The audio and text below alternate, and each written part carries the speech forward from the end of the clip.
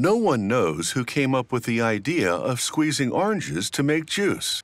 The popularity of orange juice increased dramatically in the middle of the 20th century as techniques were developed to extend its shelf life. Today, many people start their day with a tall glass of OJ. In its purest form, orange juice is fresh squeezed and made with no preservatives or other additives. The appeal is indisputable.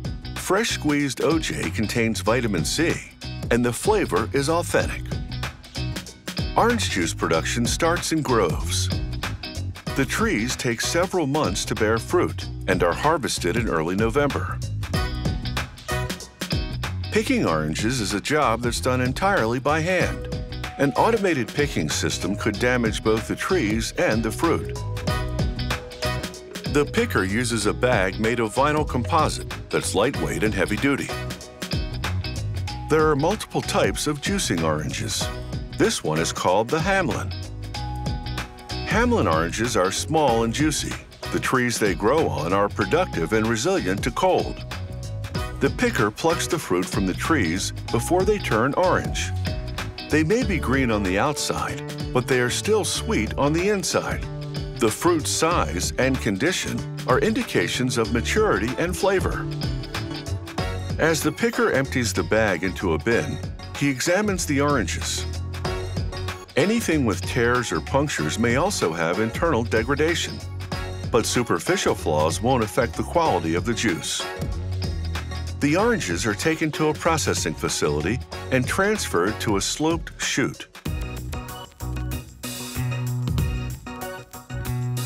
The gradient of the chute prevents damage as the oranges tumble into a wash station.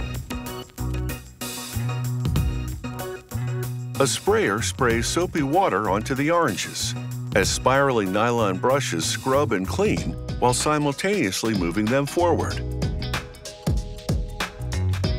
After the wash, another sprayer rinses them off as the spiraling brushes continue scrubbing.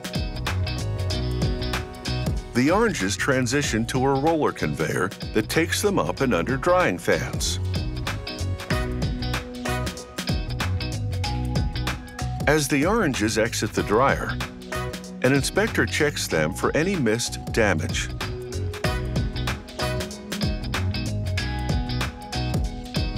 The oranges travel across more revolving brushes. The bristles on these brushes are gentler than on the first group. They buff the skin of the fruit and remove any residual dirt. Finally, the oranges fall off the conveyor line into a bin. Now cleaned, the oranges can be juiced with no contaminants that could spoil either the product or juicing machinery.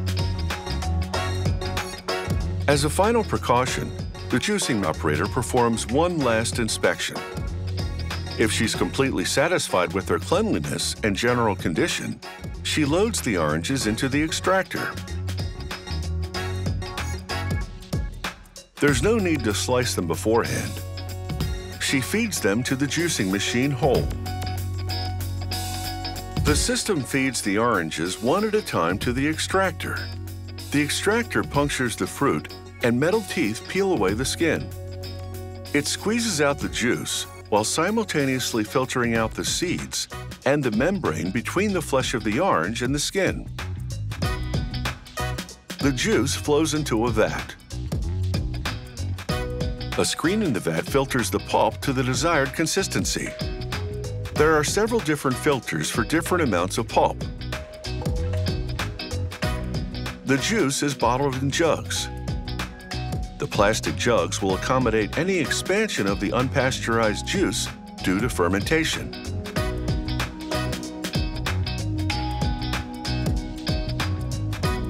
Instead of pasteurizing this fresh squeezed juice, it is chilled immediately. The unpasteurized orange juice won't have an extended shelf life, but the trade-off is an unaltered flavor and color. Refrigeration will preserve the juice for a few days. And after all, fresh squeezed orange juice is a drink that's best served cold.